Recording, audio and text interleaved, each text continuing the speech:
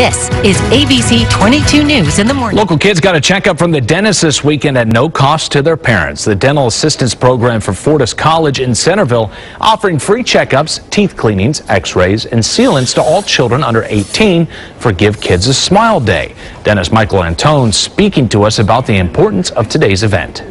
It's very important to teach kids at a young age and also give a good impression to them um, that the dentist is not a bad thing and not to have a bad time at the dentist. This was the first time the event was held at the Centerville location. The Give Kids a Smile program has helped over 5 million children since 2003.